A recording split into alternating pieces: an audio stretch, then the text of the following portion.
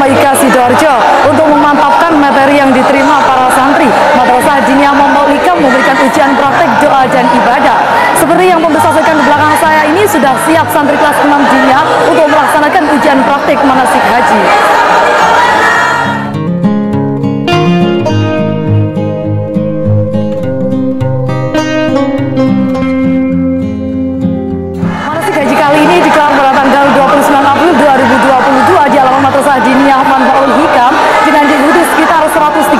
santri kelas akhir Madrasah Diniyah Manbaul Hikam.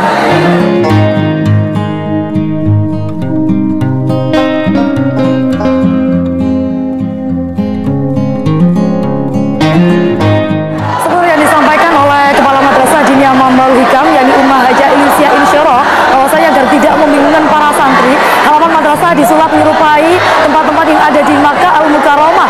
Dapat Anda saksikan miniatur Ka'bah, eh, tempat sa'i, tempat lempar jumroh, dan tempat mabit atau menginap dan lain-lain.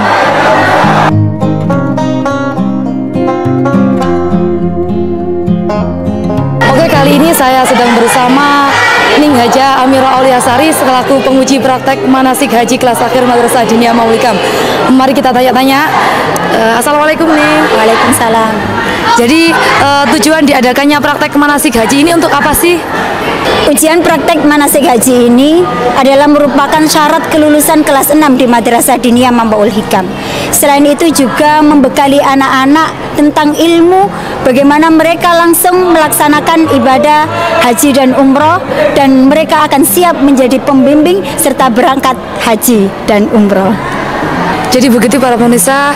Terima kasih Ning atas waktunya. Sama-sama. Oke, eh, monggo silakan dilanjut untuk menguji para santri kembali. Selain praktek manasik haji, juga ada ujian praktek